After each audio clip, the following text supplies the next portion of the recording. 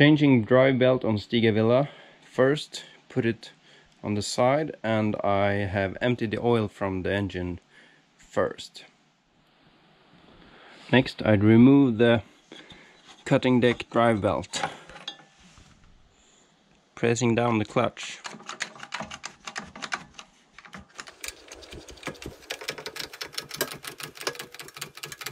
With the clutch pressed there is no tension on the drive belt and you can see it's time to change it.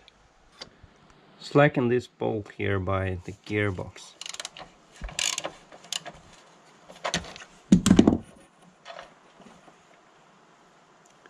This uh, will make sure that the belt doesn't jump off.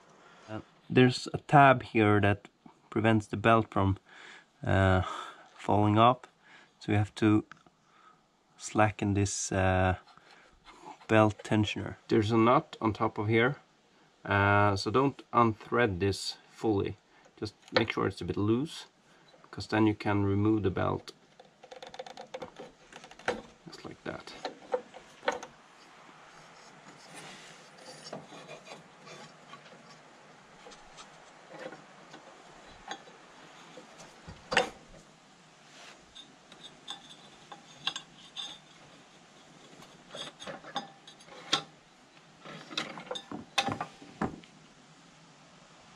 Be. I got a new belt when I bought this mover. So,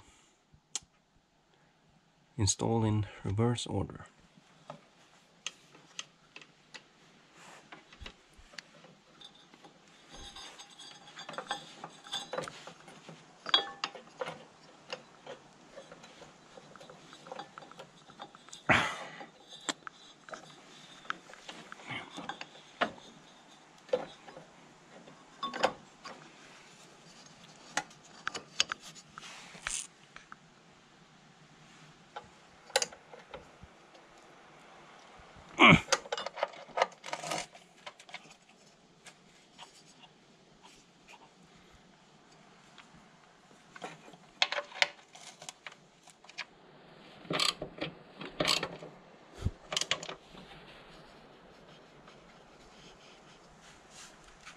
Makes this sound when you push the clutch down.